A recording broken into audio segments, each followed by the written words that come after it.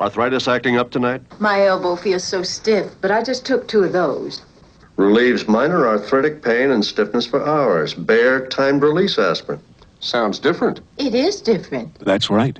The other leading products are made to be taken every four hours. Bayer timed release once in eight hours. The difference is micro-encapsulated aspirin. It really helps me wake without that morning stiffness. Get Bayer timed release aspirin. It's made to work overtime.